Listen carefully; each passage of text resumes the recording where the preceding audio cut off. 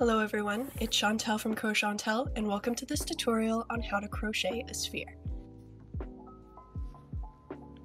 So the materials you'll need in order to crochet a sphere of any size includes a crochet hook, a sewing or darning needle, a stitch marker, I personally use a bobby pin, some scissors, a yarn type appropriate for your hook size, as well as stuffing, and I personally use polyfill.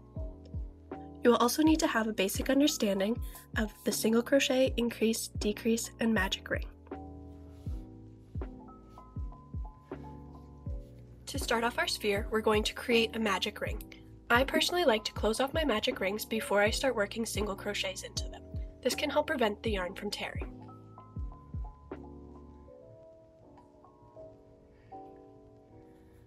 For the first round of the sphere, we are going to be working 6 single crochets into the magic ring. Some people prefer to use 8 single crochets, an increase in intervals of 8, but I personally prefer the 6 single crochet method.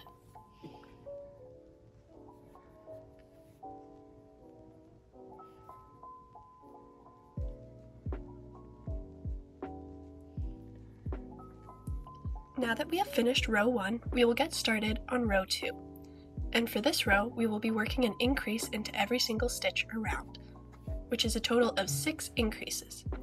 By the end of the row, you should have a total of 12 stitches. And just as a reminder, an increase is a very simple stitch. All it is is working two single crochets into the same stitch, rather than just putting one single crochet in per stitch.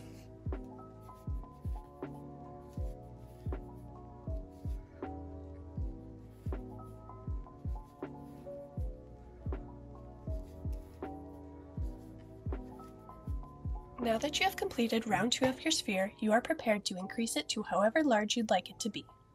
For reference, see the chart that's on the screen. This gives you instructions on how to increase your sphere to any size up to 72 stitches around.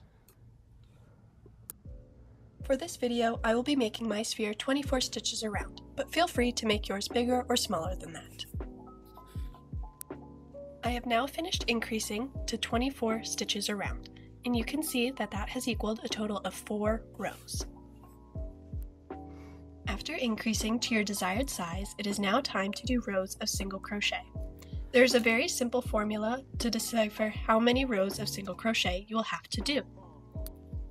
A simple rule to follow is to add the number of rows that you increased to 1, and then that is the number of rounds you should single crochet for.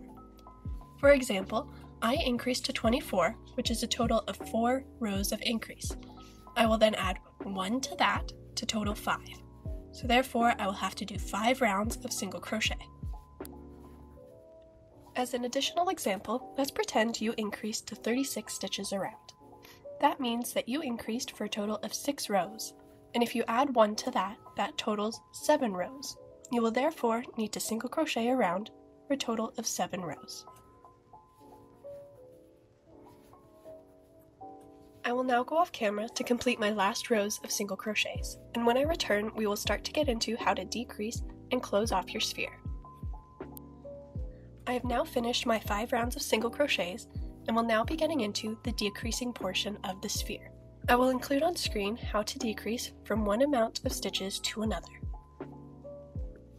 Since my sphere was 24 stitches around, I will look on the chart where shows how to decrease from 24 to 18 stitches. In order to do that, as you can see, I will have to do two single crochets and then a decrease, and do that for a total of six times around.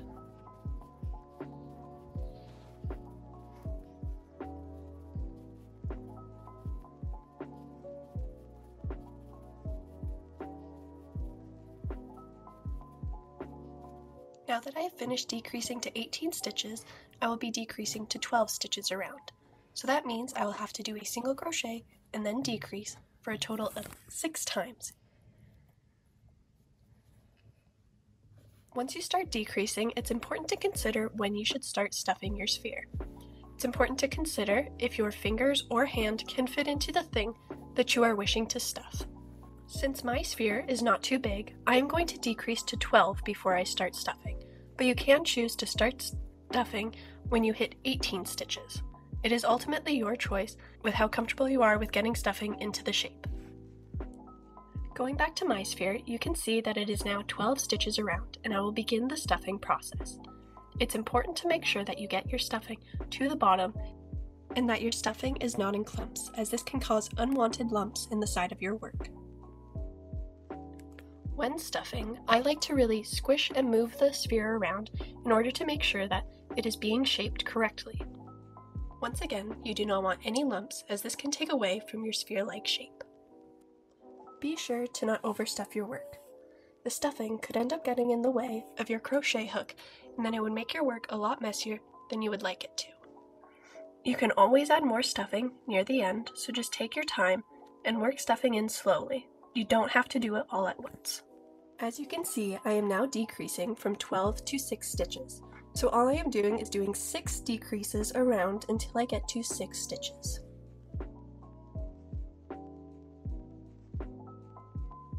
To finish off your sphere, all you will have to do is do a slip stitch into the next stitch after you finish your last decrease. You can then cut off your yarn, but be sure to leave a tail so then you can sew the opening closed. This is when you will use your darning needle. I like to close off my pieces by weaving the yarn through the front loops only of each of the stitches. Once you have finished that, you will pull tight until the opening is closed.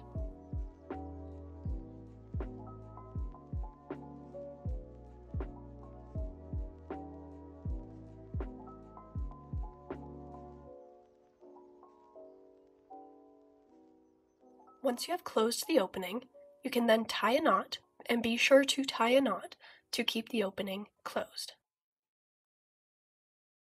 I tend to do a simple knot and then weave the end into the ball.